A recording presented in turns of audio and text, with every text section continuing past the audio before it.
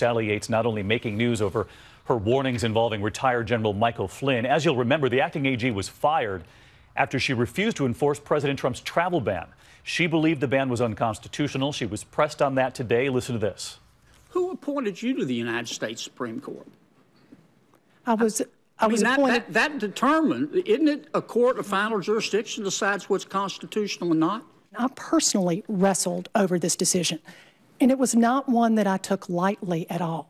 I believe that it is the responsibility of the Attorney General, if the President asks him or her to do something that he or she believes is unlawful or unconstitutional, to say no.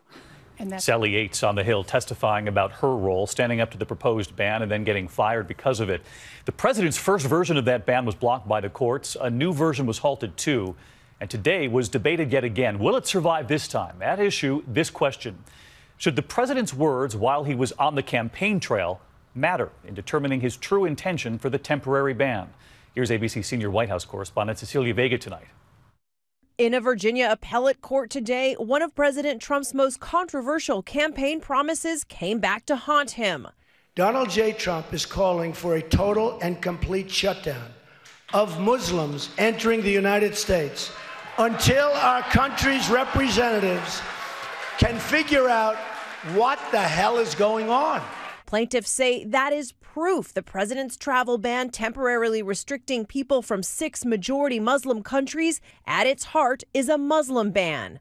Lawyers for the Trump administration argue the president's statements before election day don't count. Generally, they shouldn't get much weight because you haven't taken the oath of office to uphold the Constitution, you haven't formed an administration or consulted with them. But some of the 13 judges skeptical. Review. saying then the president could say that every day as a candidate for a year.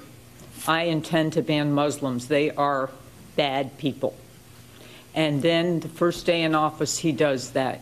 You have to, you're saying that none of those statements could be considered Another judge weighing in. He's never repudiated what he said about the Muslim ban. is still on his website. Why does the president's website still explicitly call for, quote, preventing Muslim immigration?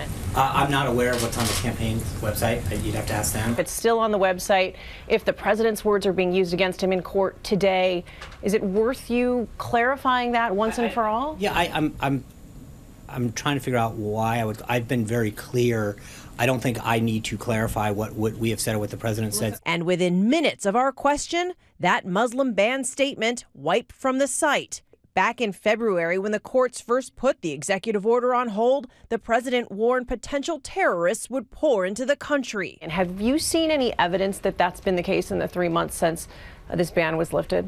I think that's a question for the Department of Homeland Security.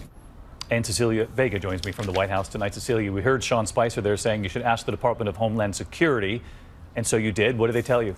Well, David, they say that unfortunately this information is not readily available. We do not expect a ruling on this travel ban case for a few weeks, David. It appears headed all the way to the Supreme Court. All right, Cecilia Vega with us tonight as well.